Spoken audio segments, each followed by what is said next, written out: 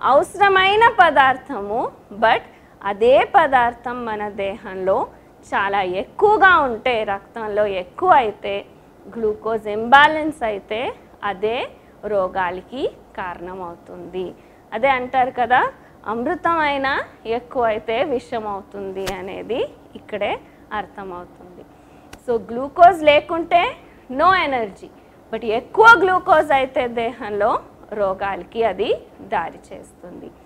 ఏమవుతుంది దేహంలో? ఎక్కువైన గ్లూకోజ్. నెక్స్ట్ క్వశ్చన్ ఇస్ ఏం ప్రాబ్లం ఈ గ్లూకోజ్ ఎక్కువ అయితే అనేది? We will answer now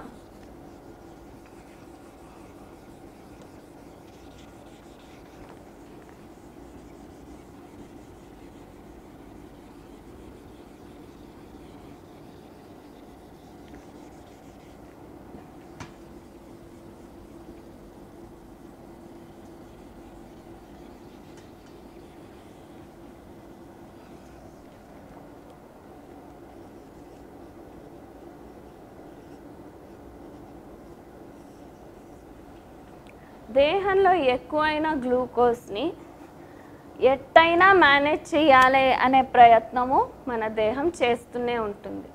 so ఎక్కువ గ్లూకోజ్ అయితే నేను చెప్పినట్టు కెమిస్ట్రీ ల్యాబ్ ఏది దేహంలో?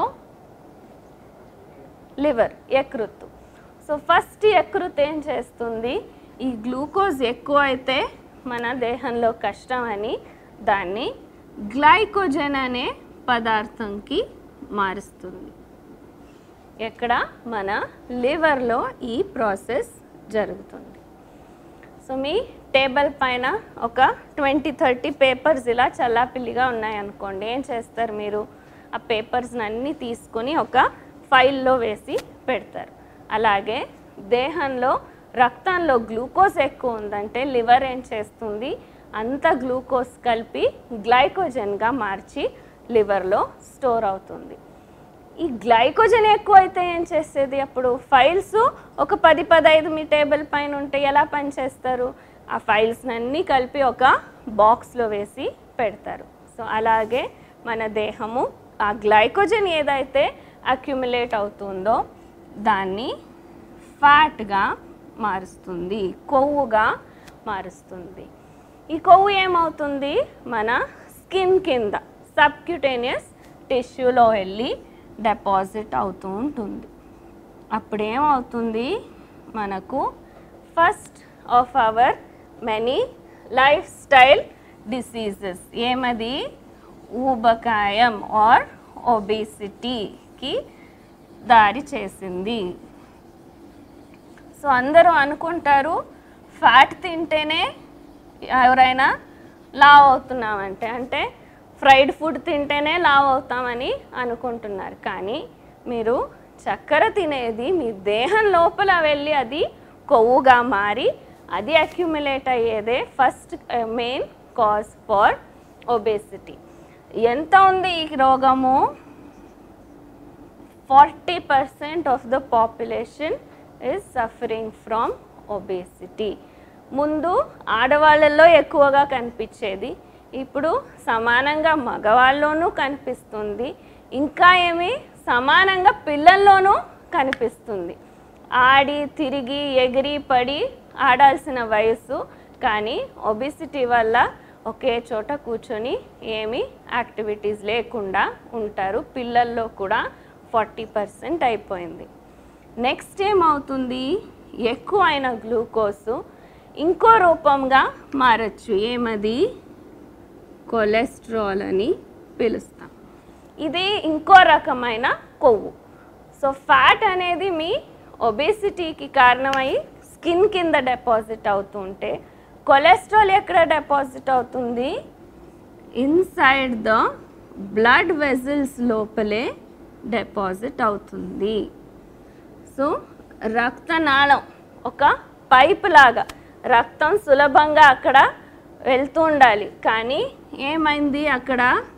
చిన్న చిన్న డిపాజిట్స్ ఆఫ్ కొలెస్ట్రాల్ వల్ల మీ బ్లడ్ వెజల్స్లో బ్లాక్స్ వస్తున్నాయి.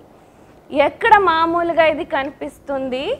మన హార్ట్ చుట్టూ చిన్న వెజల్స్ ఉన్న చోట హార్ట్ బ్లాక్స్ కనిపిస్తాయి.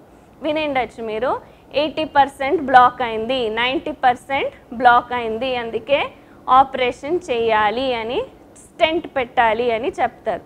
స్టెంట్ అంటే ఏంటి? ఈ గ్యాప్లో ఒక రింగ్ పెడతారు.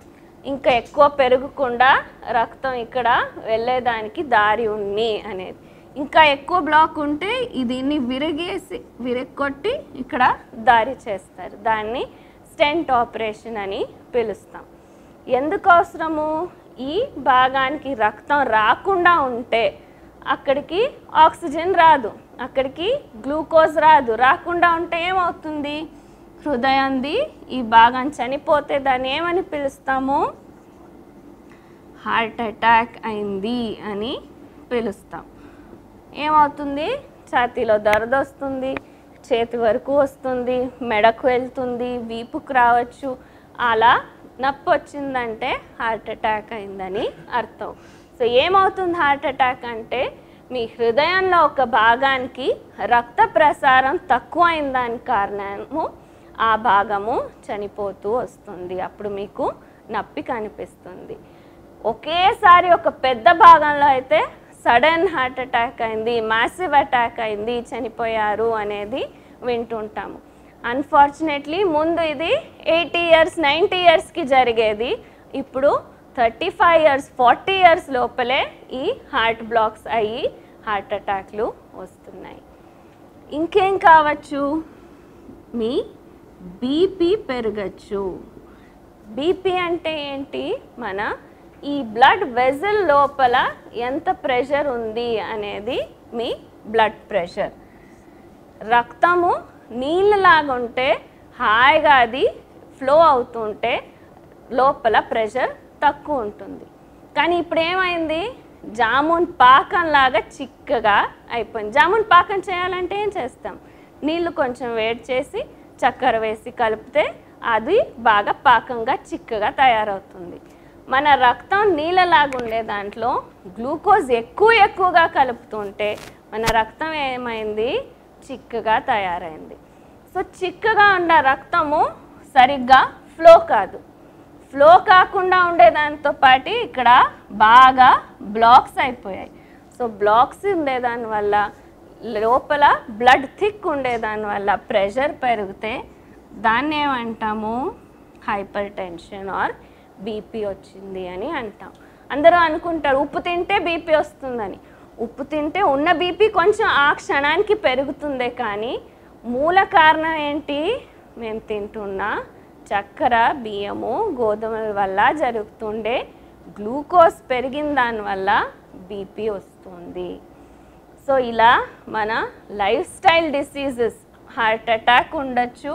ఇదే ప్రాసెస్ బ్రెయిన్లో జరిగితే ఏమంటాము? స్ట్రోక్ అని పిలుస్తాం. So all the life style diseases can be traced back to imbalance in glucose glucose మనం రక్తంలో మేనేజ్ చేయకుండా ఉండేదానివల్ల ఒబెసిటీ అవుతుంది హార్ట్ అటాక్స్ వస్తున్నాయి కొలెస్ట్రాల్ పెరుగుతుంది బీపీ పెరుగుతుంది. ఇంకా అందరికీ తెలిసినట్టు షుగర్ ఆర్ డయాబెటీస్ రోగం వస్తుంది.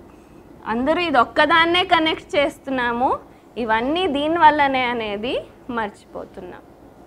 So what I'm trying to establish is glucose imbalance వల్ల ఎన్నో రకాల రోగాలు వస్తున్నాయి. ఇవన్నీ వేరే వేరే కాదు. ఒక్కొక్కరి దేహము ఒక్కొక్క రూట్ తీసుకోవచ్చు. ఒకరికి ఫస్ట్ కొలెస్ట్రాల్ పెరగచ్చు తర్వాత షుగర్ రావచ్చు. కొందరికి ఫస్ట్ బీపీ రావచ్చు తర్వాత లావు కావచ్చు. కొందరికి ఫస్ట్ ఒబిసిటీ కావచ్చు తర్వాత డయాబెటీస్ రావచ్చు. సో ఒక్కొక్కరి దేహ ప్రకారం ఎలా ఉంటుందో దాన్ని బట్టి మీ దేహము దేన్ని ఫస్ట్ చేస్తుంది దేన్ని నెక్స్ట్ చేస్తుంది అనేది ఉంటుంది. బట్ ఆల్మోస్ట్ బీపీ షుగర్ ఇప్పుడు అందరికీ buy one get one free లాగా అయిపోయింది. షుగర్ వచ్చిందా ఆ బీపీకి టాబ్లెట్స్ వాడాల్సిందే. ఆ కొలెస్ట్రాల్ టాబ్లెట్ ఇప్పటి నుంచి వాడండి. ఎప్పుడైనా ఎక్కడైనా ఏమైనా కావచ్చు అనేది డాక్టర్సే చెప్తున్నారు. మీ నాన్నకుందా షుగరు మీరు ఇప్పటి నుంచినే వాడండి. ఎందుకు రిస్క్ అనేలాగా ఇప్పుడు ఫస్ట్ నుంచినే టాబ్లెట్స్ అలవాటు అయిపోయింది.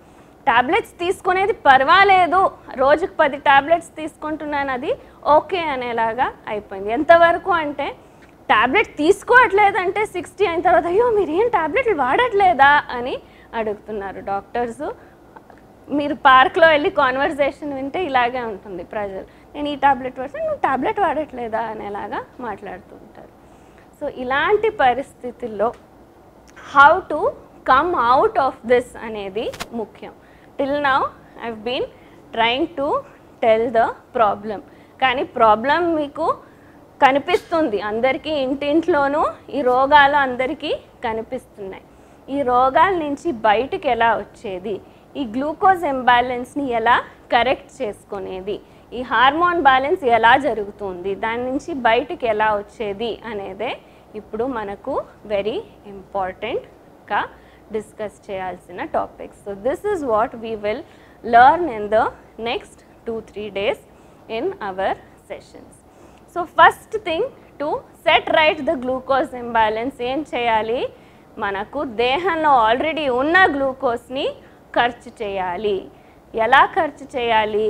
ద మోస్ట్ దేహానికి ప్రతి ఒక్క భాగానికి ఎక్సర్సైజ్ అయ్యి ఏ ఒక్క భాగానికి ఓవర్ వర్క్ కాకుండా ఏ హంగామాను అవసరం లేకుండా దేవుడే నేర్పించిన వ్యాయామం ఏది మనకు? అది వాకింగ్. సో ఏ హంగామా అవసరం లేదు. మీరు నడుస్తూ నడుస్తూ ఏదో మీరు స్విమ్మింగ్ చేస్తే ఈ భాగాలకి ఈ భాగాలకి ఎక్కువ అవుతుంది. లేకుంటే మీరు ఎక్సర్సైజెస్ మీరు యూట్యూబ్లో చే చూడొచ్చు. ఓ core strengthening thigh strengthening arm strengthening ఇలా వేరే వేరే ఉంటాయి. ప్రతి ఒక్క భాగానికి ఎక్సర్సైజ్ జరిగి ఏ భాగానికి అతిగా కాకుండా స్ట్రెయిన్ అయ్యేలాగా కాకుండా జరిగే ఎక్సర్సైజ్ వాకింగ్. సో ప్రతి ఒక్కరు దేహం ఈ డిజైన్ స్ట్రక్చర్ చేసిండేదే నడిచేదానికోసం. సో నా we will all proceed for walking. ఒక గంట వాక్ చేస్తే మంచిది. కానీ ఫస్ట్ డేనే అందరూ ఒక గంట నడిచేది సాధ్యం కాకుండా ఉండొచ్చు. విల్ ఆల్ స్టార్ట్ టుగెదర్ ఎంత అవుతుందో అంత చేయండి. మిగిలిన వాళ్ళు వెనక్కి రావచ్చు. ఎంత కాకుండా like ten minutes fifteen minutes చేసి if you are feeling tired you can come back అయిన వాళ్ళు will finish one hour of walking and come back okay like and subscribe eagle health and beauty